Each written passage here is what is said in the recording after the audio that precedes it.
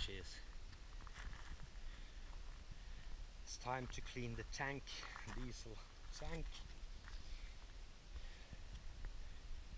And I just took out the bad battery.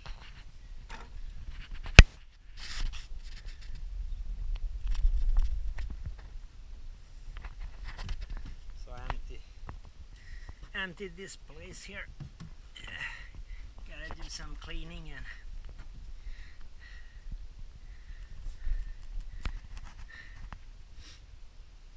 and get to work.